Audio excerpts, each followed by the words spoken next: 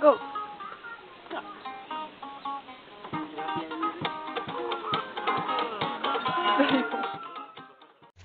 Hi, my name is Niken and I am a volunteer from Indonesian Red Cross.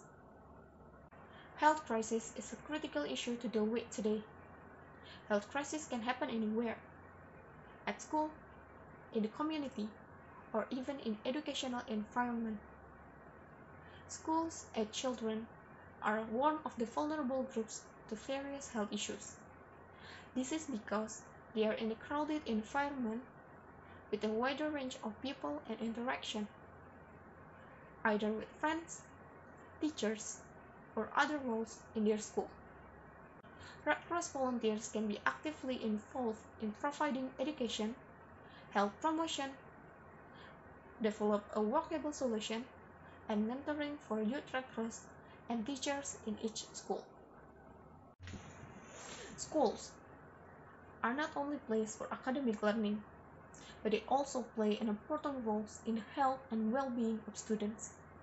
That's why many schools have adopted a practice called health surveillance or health monitoring based on the school environment.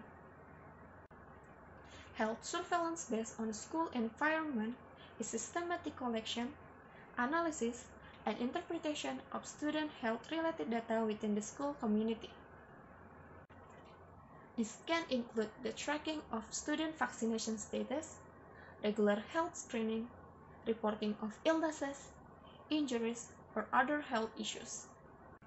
The goal of school-based health surveillance is to identify health problems early and take necessary action to prevent the spread of diseases or injuries, promote healthy behaviors, and ensure a safe and healthy learning environment for all students.